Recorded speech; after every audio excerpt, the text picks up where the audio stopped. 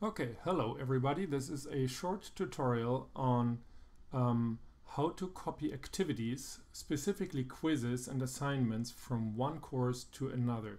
Because a lot of us are teaching more than one section of a course and sometimes you have a colleague in the same department teaching uh, another section of that course and maybe you uh, want to copy over a quiz that you have set up from one course to the other uh, because you want to use it there as well.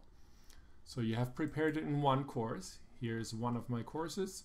And let's say I have another section of that. And I have prepared my homework quiz here. It's this one here. And I want to copy that over to another course.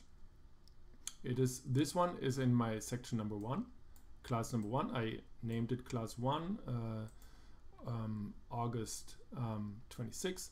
So this one I want to copy over. So I'm now going to the course that I want to copy this to. I'm going to go here uh, and I'm going to uh, the main page. This is my course. I want to copy the homework number one, to. I'm going to go here. I'm going to click on import. I'm now going to find this course. If it's not in this list, you might have to find it this way. Um, so it could be um, this is part of the name of the course and this is the course I just found my course this is the course I want to copy homework number one from so I'm going to click continue so now it's going to show me uh, the import settings do I want custom fields? No. Do I want to include the competencies? No. Do I want to include groups and groupings? No. I don't want these things. I only want my activity and uh, and potentially a resource if I want to copy over a label or a file or something like that. Now let's not take the files because I have no files in the homework number one that need to be copied over. Filters, I have nothing uh, like that in there as well. Um, calendar events, I'm not going to copy that. I don't need the blocks either. So what I do need, because homework number one is for me, it's a quiz and a quiz contains questions. So I need to include the question bank as well, okay? So that uh, the question bank will be copied over to this course and the specific uh, homework that is using questions that are in the question bank.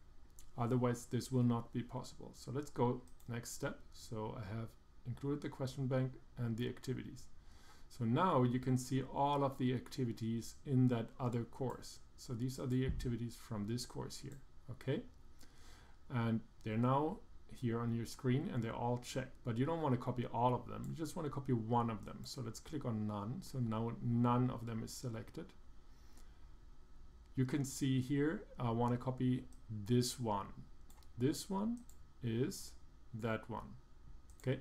So I'm gonna click here on the section that uh, uh, makes it possible for me to now click here homework number one okay.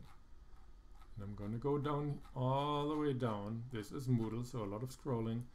And I'm going to click on next. Now let's go all the way down again. And I this is just to confirm just so you didn't make a mistake.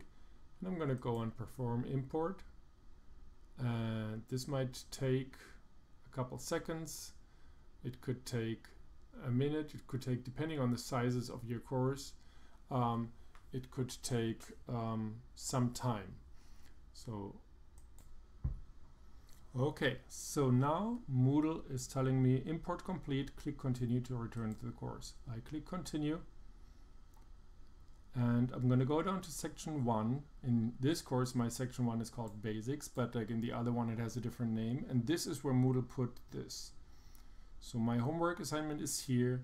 Uh, it will have the same settings as in the other course, so you might have to adjust that because if your uh, class is at a different time or so, you might have to adjust that. Um, it will contain the same questions uh, and the question bank should have been copied over as well. So it's all here now. I hope this makes some sense. Have a great day.